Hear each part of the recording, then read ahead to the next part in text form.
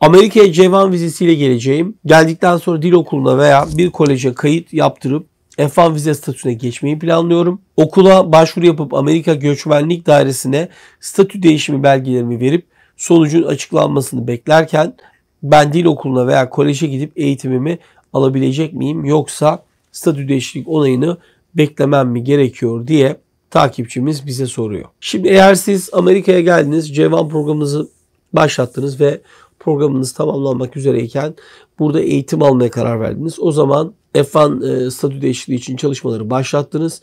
O zaman yapılacak olay sizin okulunuzdan aldığınız I-20'nin göçmenlik dairesi tarafından onaylanmasını beklemeniz gerekecek. Dolayısıyla onu beklerken okula gitmiyorsunuz ta ki F1 statü değişikliğiniz başvurusu onaylandıktan sonra okulunuza başlayıp e, derslere katılmaya başlıyorsunuz. Dolayısıyla statü değişiklik onayını beklemeniz gerekiyor.